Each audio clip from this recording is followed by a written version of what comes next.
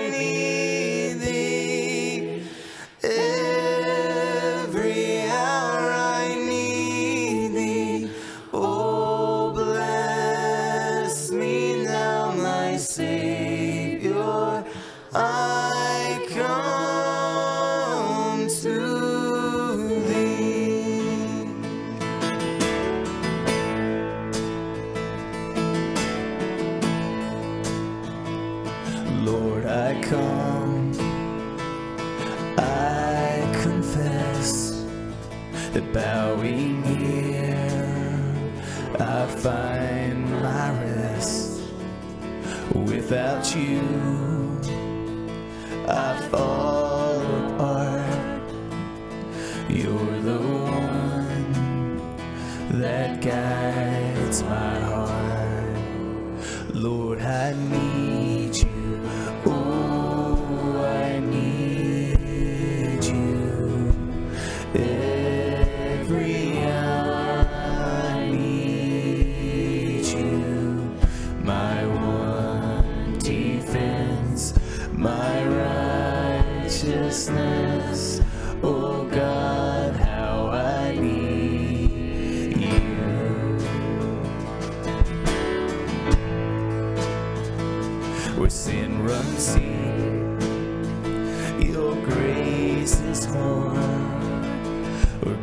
is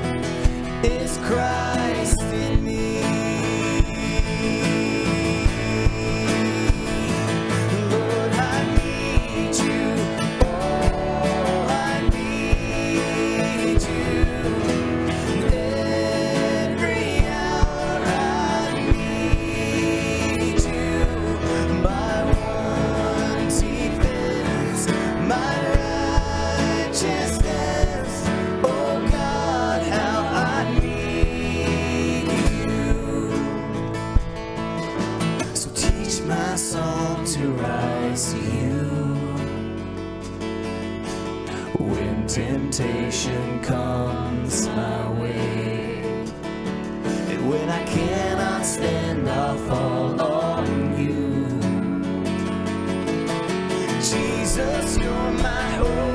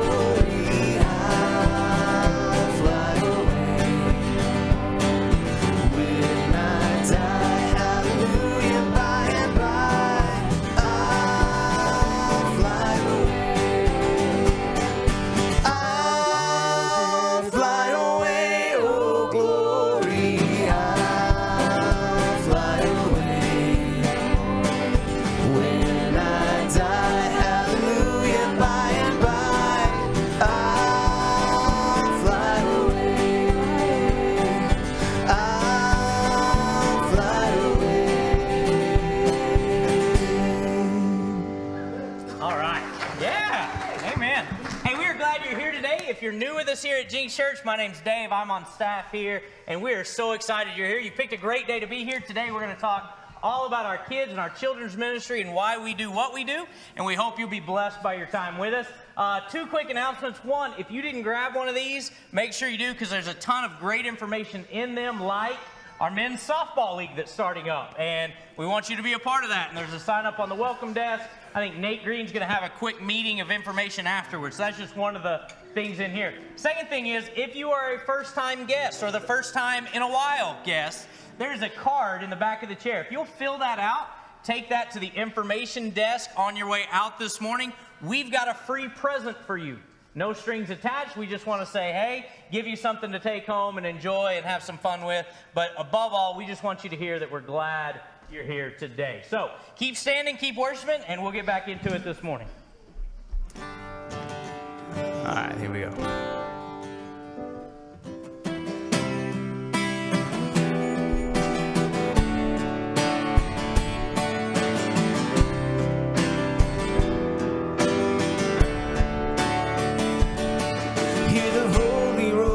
God resound.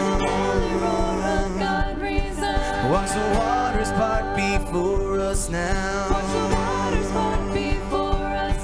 Come and see what He has done for us, and tell the world of His great love. Our God is a God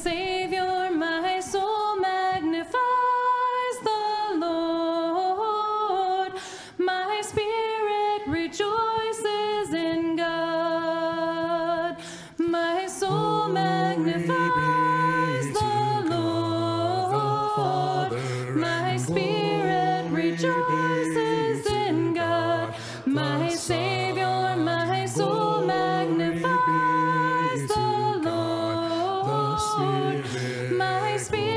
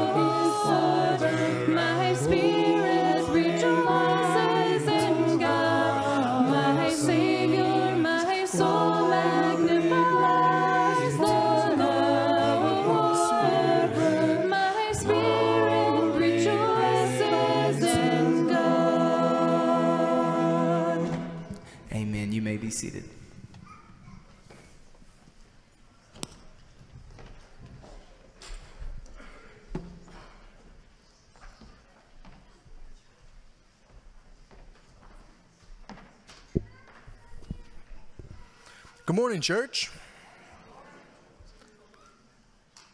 It's my privilege this morning to prepare our hearts and our minds for the Lord's Supper today. And I want to start with a reading from Psalm chapter 1. I've been doing a lot of reading in the Psalms lately, and I think there is uh, some awesome things that we can take from that this, this morning.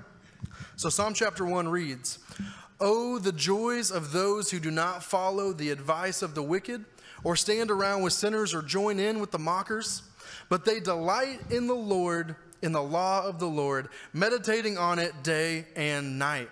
They are like trees planted along the riverbank, bearing fruit each season. Their leaves will never wither, and they prosper in all that they do. But not the wicked. They are like worthless chaff that is scattered away by the wind. They will be condemned at the time of judgment. Sinners will have no place among the godly, for the Lord watches over the path of the godly, but the path of the wicked will lead to destruction. That, pa- that passage reminds me of a very common phrase. And that phrase is if you stand for nothing, you will fall for everything. Anything, everything. And here today, as we gather as a family, preparing for the Lord's Supper, we have a Savior who we are called to be mindful of, to remember. That's why we're here right now, is to remember. And so as we think about that, we have a Savior that we need to remind ourselves stands for us always. He has promised that He will intercede on our behalf in the throne room of God. And today, we get to stand with Him. We get to stand with each other as a family and honor that commitment that Jesus has made to us. We get to reflect that commitment back to Him. And just like that passage in Psalm says, we are to stand with Him like a tree that is rooted on the riverbank. And because of Him, we will bear good fruit. Let us remind ourselves why we stand this morning, why it is that we are rooted in Jesus. To close, I want to use a quote from Crazy Love, one of Francis Chan's books that I love. And it says, one of the quotes from one of the people that he asked says, I have to be rooted on his truth. Otherwise, I tend to make up my own truth. So this morning, let's be rooted in the truth of Jesus and not be so caught up in making up our own truth. Heavenly Father, we thank you so much for your Son. And we stand here today united under the umbrella of Jesus. And God, we're thankful that we get the opportunity to reflect that love and that commitment that you give to us right back to you today. So, God, I ask that you will use this moment as we take the bread and as we take the cup to remember you and to think about the sacrifice that you made so that we may have everlasting life, Father. So, we thank you, we thank you, we thank you. And we ask that you will continue to fill our hearts and minds this morning as we worship and as we learn. Amen.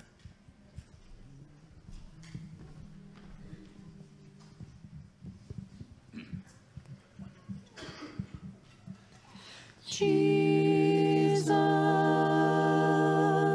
name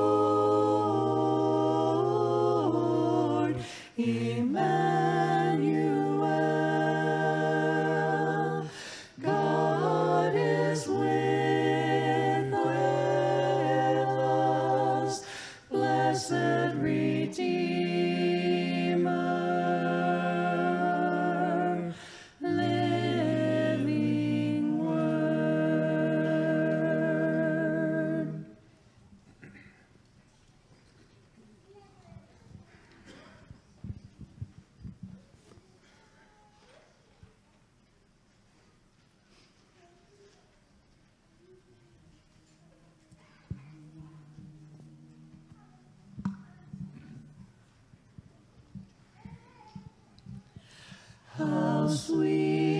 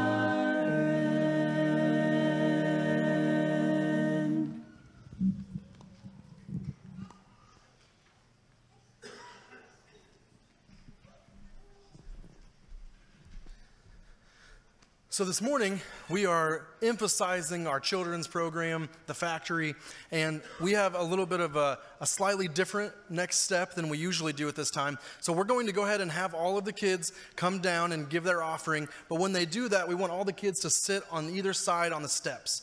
All right, so kids all come down, give your offering, and then come get on the steps right here.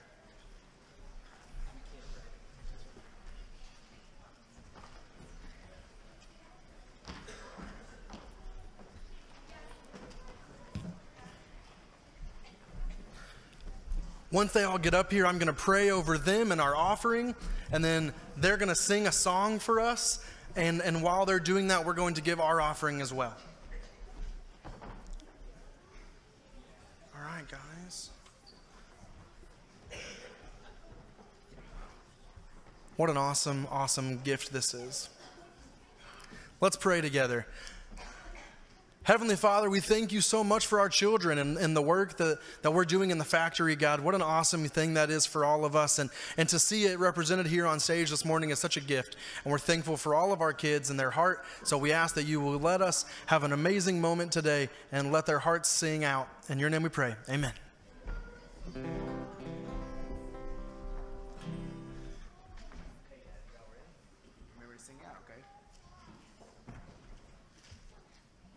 All right, you guys help him sing out there, okay? Jesus loves me, this I know, for the Bible tells me so. Little ones to him belong, they are weak, but he is strong. Yes, Jesus loves me. Yes, Jesus loves me. Yes, Jesus loves me, the Bible tells me so. Jesus loves me, this I know, for the Bible tells me so. Little ones to Him belong, ye are weak, but He is strong. Yes, Jesus loves me. Yes, Jesus loves me. Yes, Jesus loves me. The Bible tells me so. Good job, guys. Good job.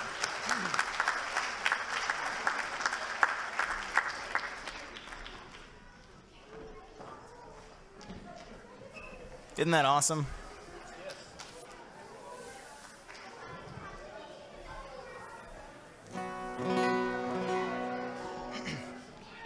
if I go ahead and ask you guys to stand up for me on the song before uh, Dave's message.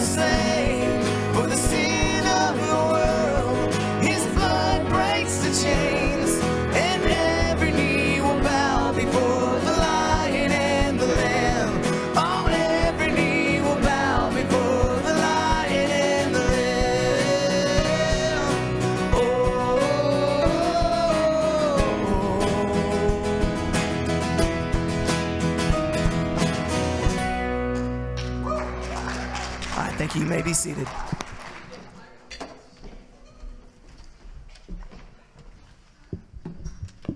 Well, good morning and welcome. Um, if you are new to Jenks Church, you couldn't have picked a better time to get here. Um, we are we are excited about everything God's been doing, and, and in this series, we've been in this home series. We've really just tried to talk about families.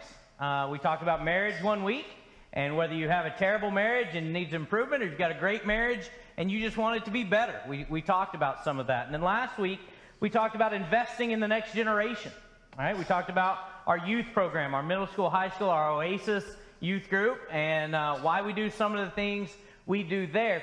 And, and today I'm going to take you all the way back down to our kiddos, right? We call our children's ministry here, if you're new, we call it the factory. Um, I don't know why, it just seemed like a cool theme to, to start painting the hallways. And if you haven't seen the transformation of our children's wing, you need to go check that out. We can give you a tour and tell you kind of about the specific things back there. But we're excited about it. We're excited about what's going on, and, and we love seeing the kids. Um, every week, that's, that's the easiest illustration we can ever come up with as a church, just to show the life that is here and, and just how God is blessing us and encouraging us to continue to give back, uh, continue to give life into that generation. And that's important because for me, um, I'm here on this stage today. I'm able to do what I do in life because I had people in my childhood uh, who did that for me.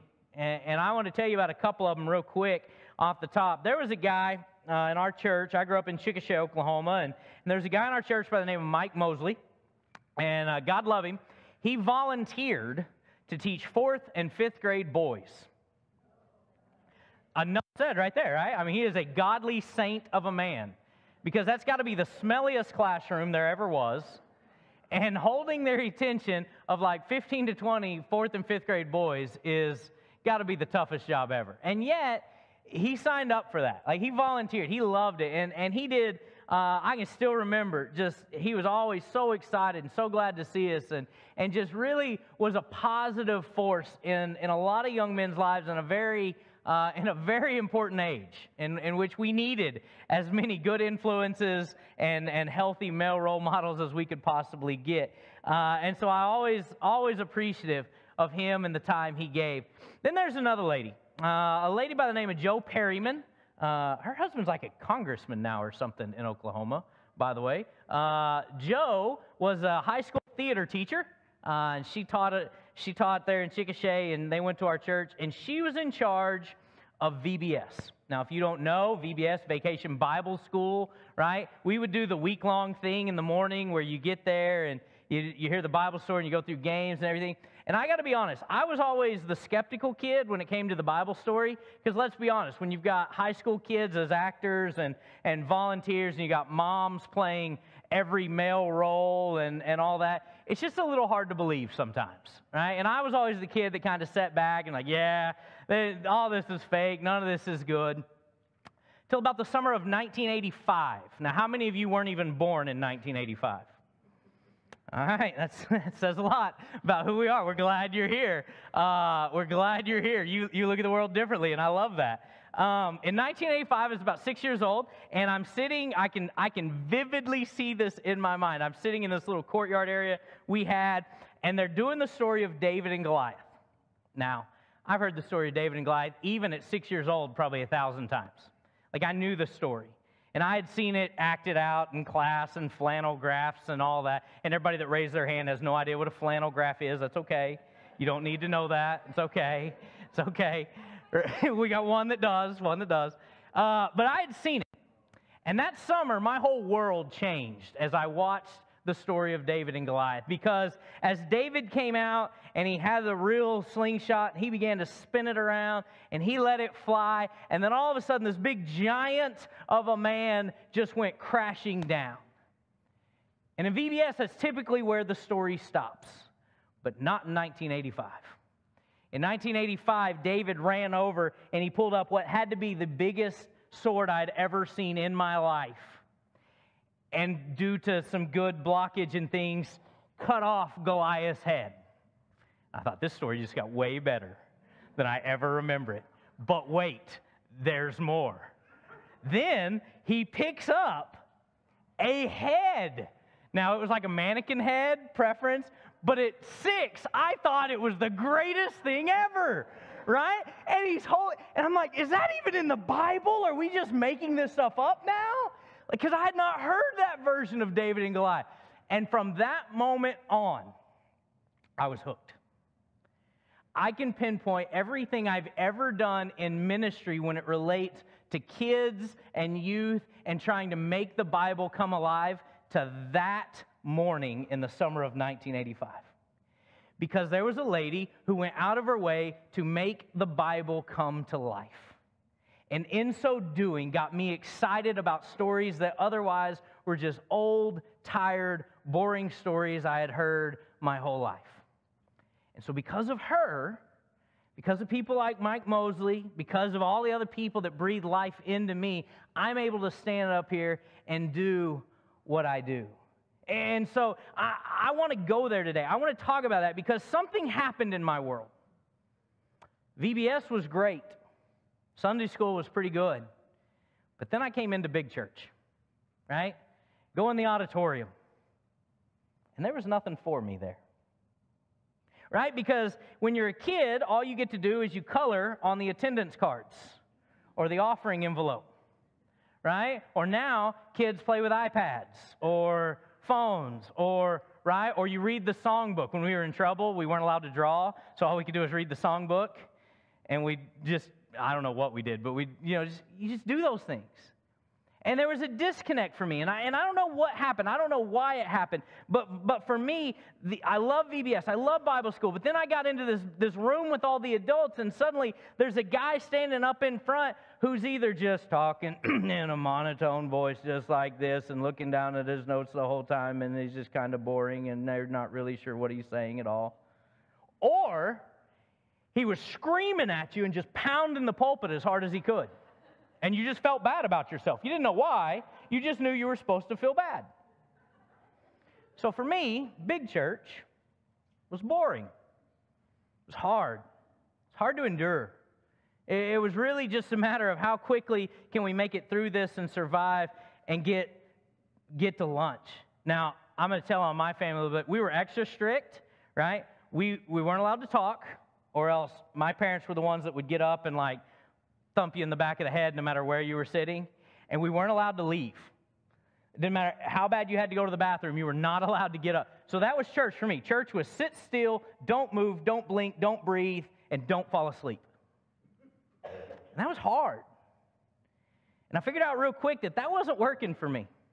And that I don't really know where I fit into that. And I'm not sure exactly how I can uh, how I was ever really going to get anything out of it. And let's be honest, moms and dads, especially moms, do you get anything out of church when you've got like a 3, 4-year-old sitting next to you? Shh, stop it. Or a 14, 15-year-old sitting next to you? Shh, quit it. Stop it. Leave your sister alone. Leave your brother alone, right?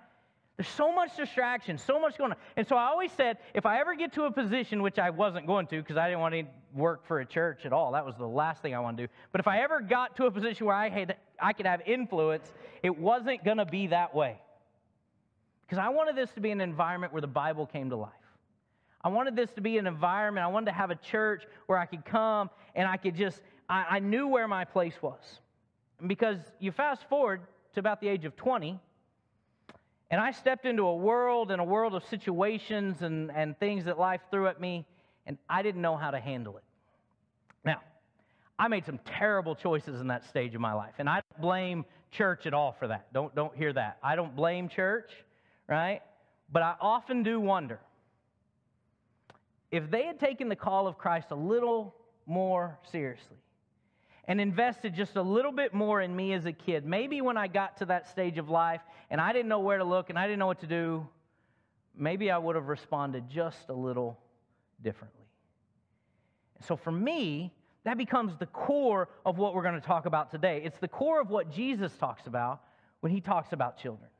And it's the very essence of, of why we do children's ministry the way we do children's ministry. Because I believe all those kids you saw on the stage right here, they will change the world.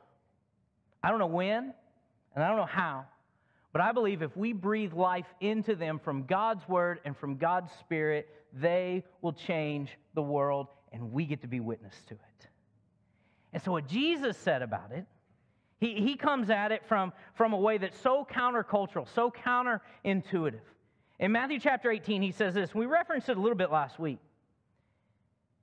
At that time, the disciples came to Jesus and asked, Who then is the greatest in the kingdom of heaven? And they're kind of positioning, they're jockeying for position. Okay, maybe he's going to say me. He'll probably say John because he likes him the most. Maybe it's Peter. Maybe it's, right? And they're kind of trying to figure out where they rank in everything.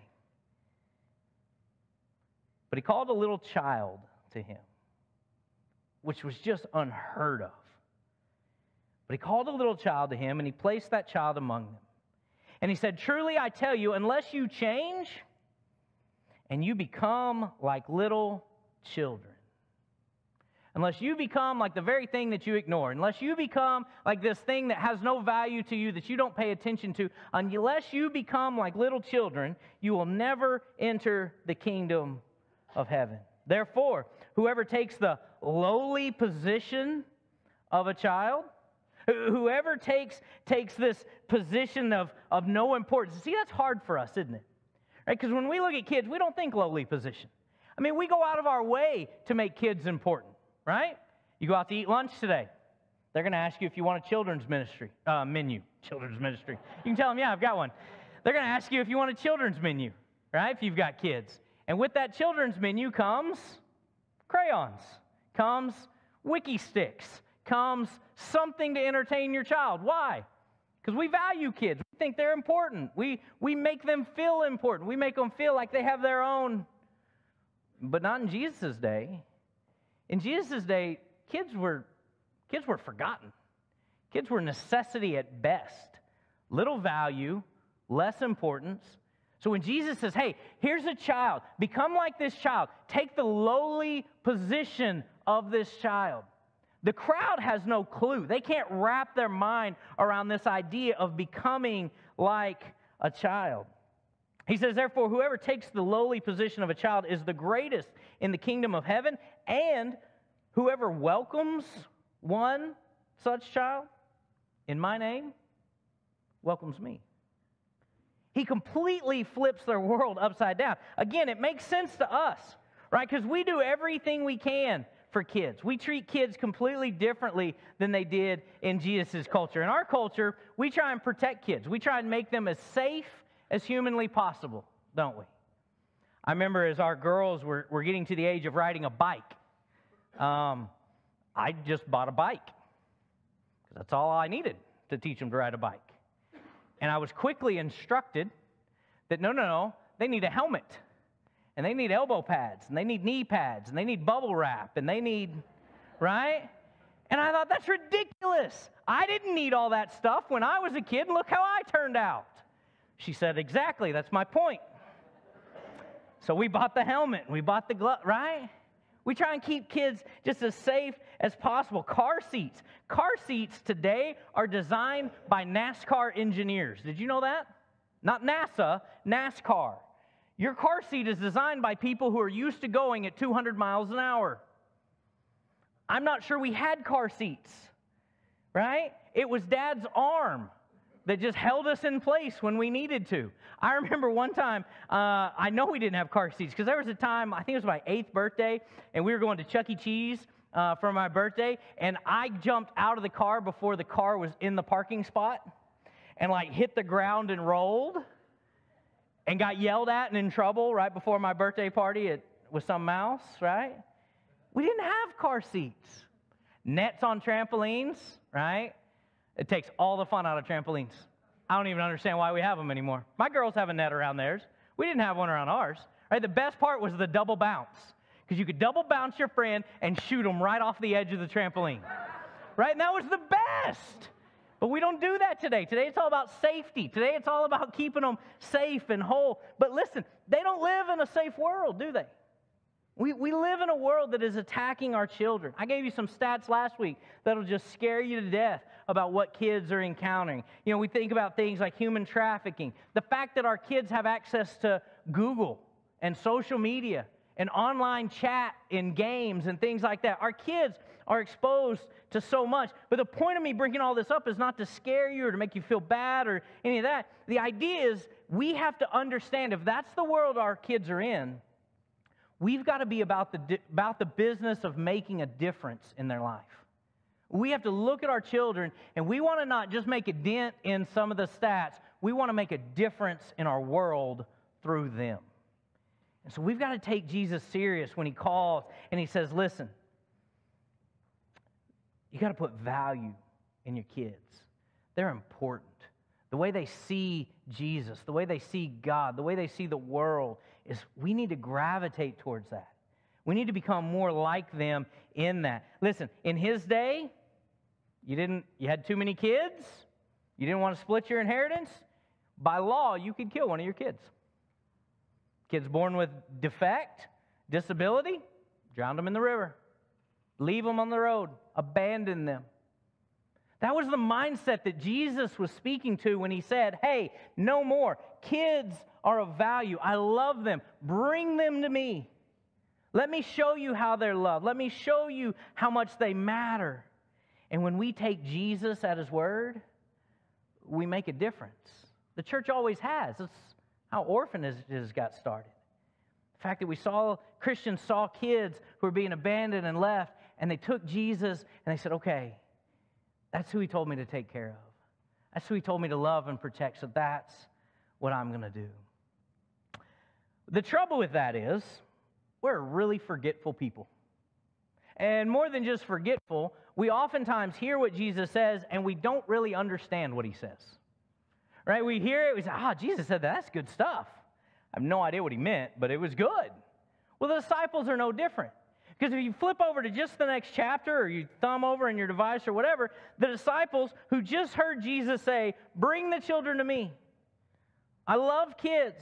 Bring them here. Become like them.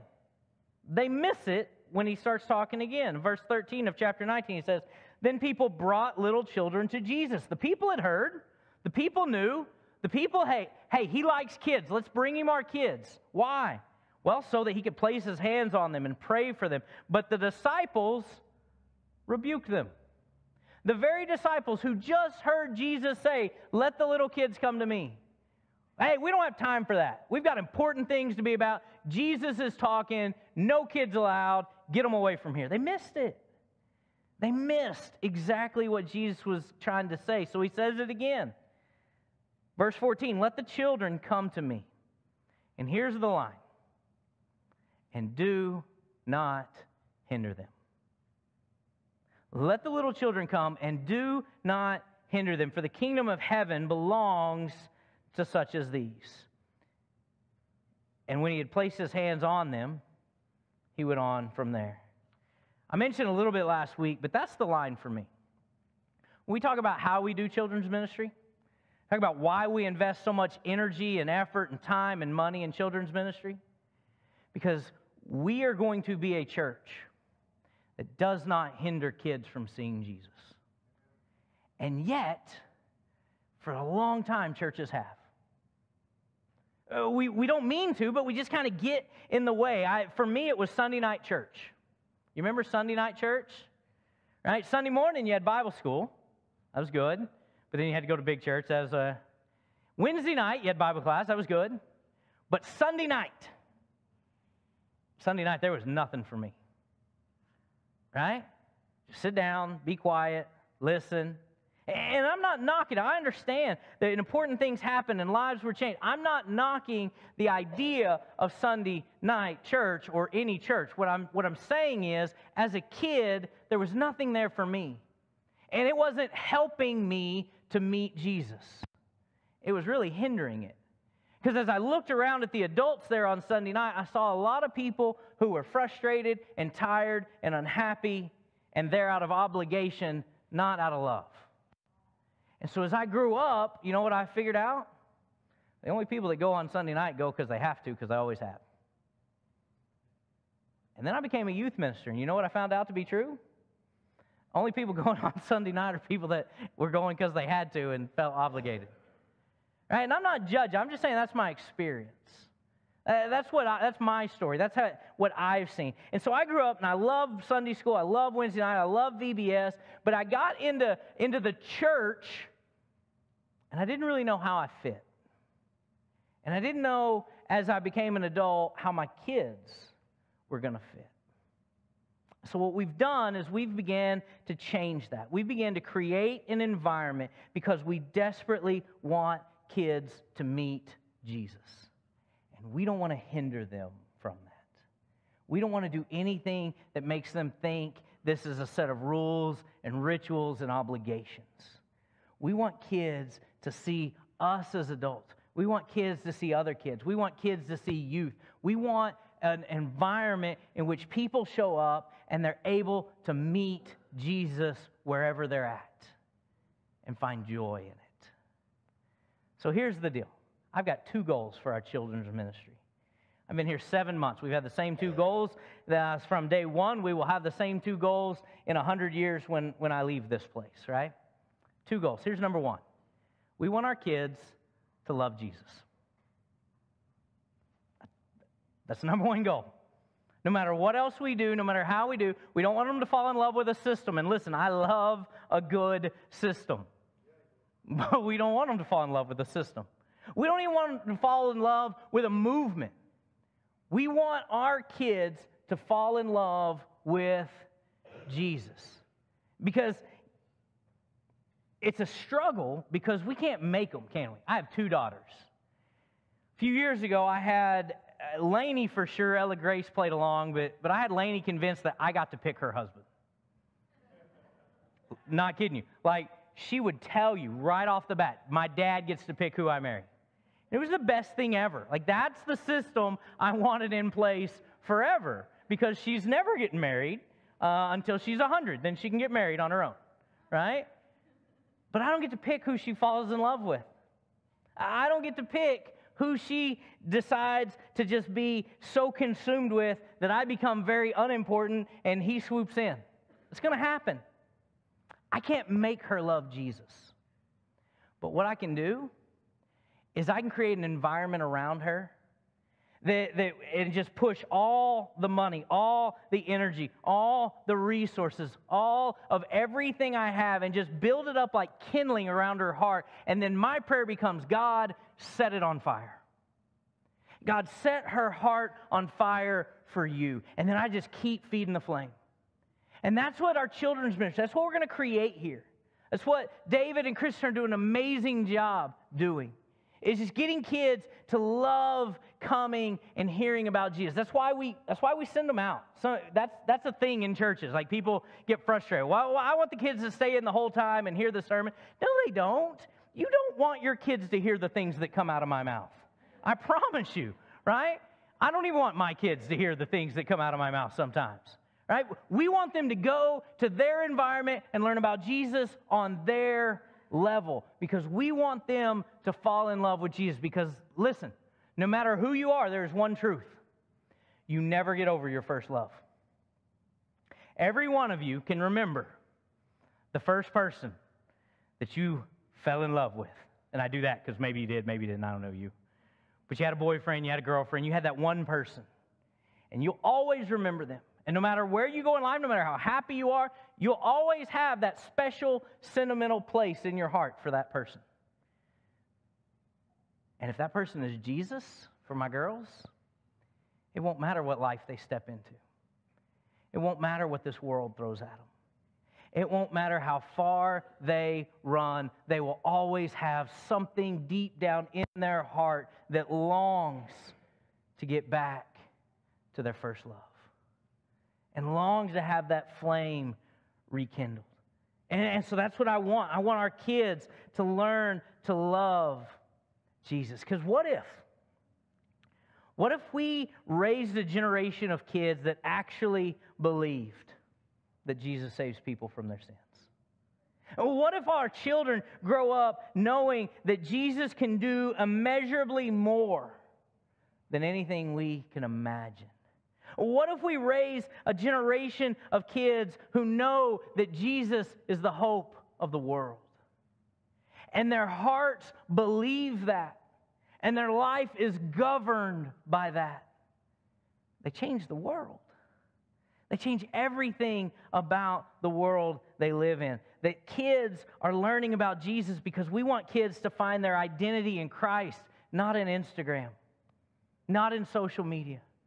That we want our young people to grow up knowing that they are sons and daughters of the King. The kids in the factory right now, they're learning all about Jesus at their level and in ways that engages them and excites them and that they can't wait to get back and learn more about. And those kids, those kids will change the world. And I want to be part of that. I want to be an investor in those lives. I want them to love Jesus. But there's a second goal. I want them to love church. I, I want them to love church mainly because I didn't as a kid. Now, I do now. I love church. I'm all about church. I've got t shirts that say I love church, right? I love church. I think it's the hope of the world. I think this is the thing that God put in play that says no matter how crazy our world gets, this is the place that you can go and find people who will introduce you to God. So I love church.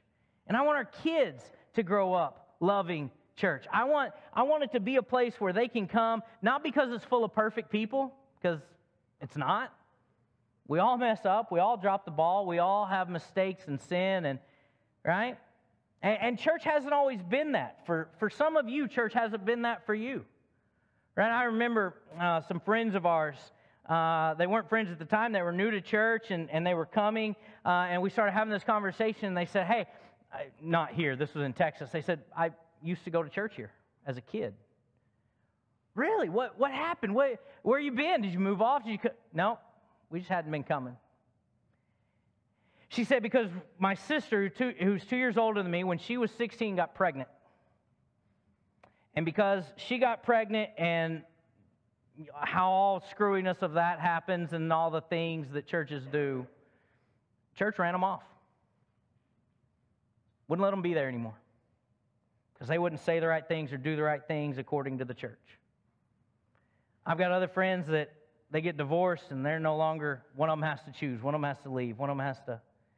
Church hasn't always been good. Church hasn't always gotten it right. I get that.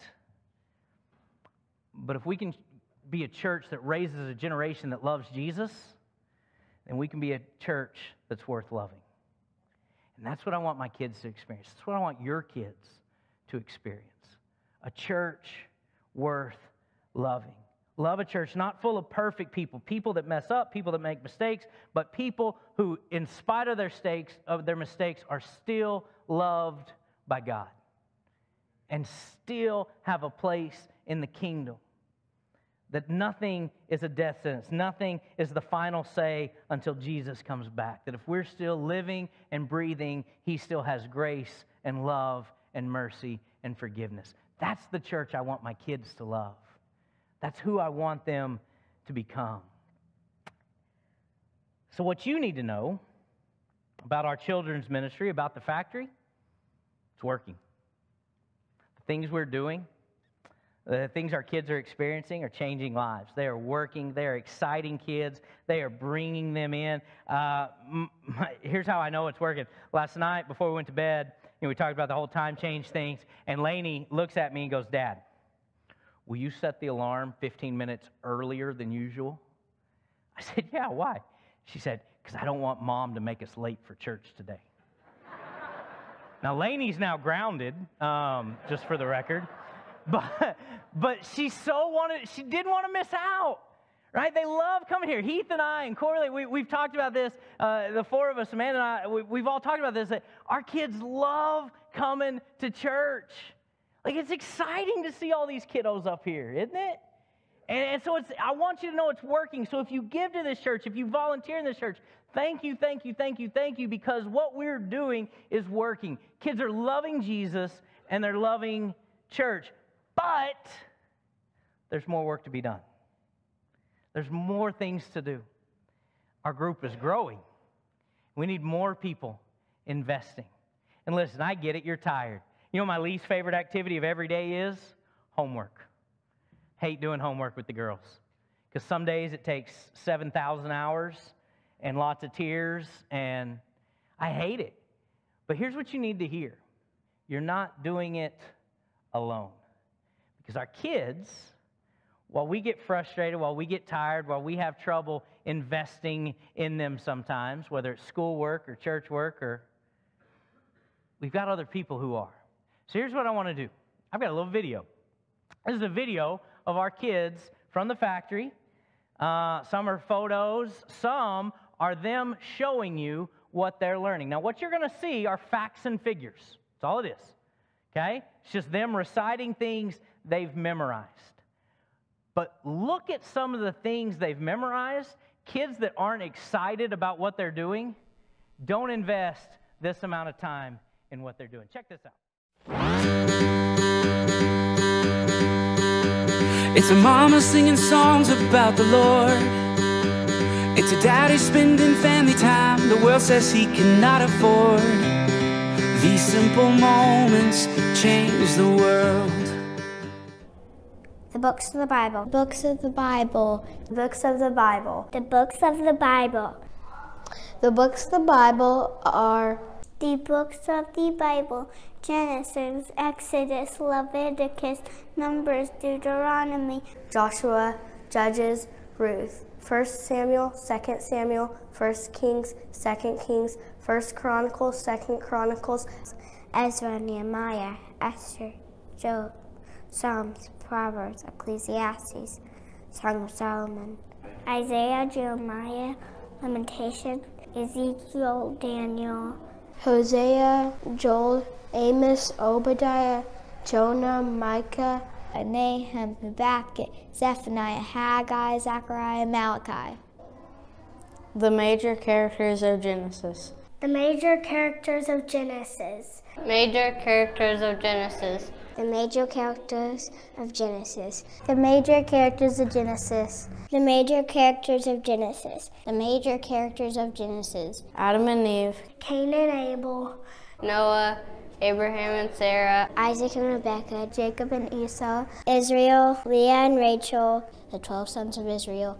Gad, Issachar, Reuben, Levi, Simeon, Joseph, Judah, Zebulun, Benjamin, Asher, Naphtali, Dan, Ephraim, and Manasseh. The twelve sons of Israel. The twelve sons of Israel. The twelve sons of Israel. Gad, Issachar, Reuben, Levi, Simeon, Joseph, Judah, Zebulun, Benjamin, Asher, Nikolai, Ephraim, Dan, Eliam, and Manasseh. The 15 judges. The 15 judges. The 15 judges. Othniel, Ehud, Shamgar, Deborah, Gideon, Abimelech, Tola, Jair, Jephthah, Ibzan, Elon, Abdon, Samson, Eli, Samuel. Keep loving, keep serving, keep listening, keep learning, keep praying, keep hoping, keep seeking, keep searching. Add up the small things and watch them grow bigger. Oceans from rivers.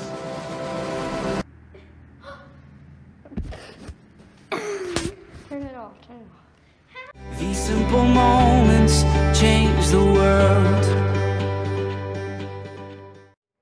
It's bad when you're the preacher's kid and he catches you. Yeah, give those kids a hand. Yeah. Here's the deal. One, I would challenge anybody in here that can do all of that, go challenge the kids and see who's better. But again, those are just facts.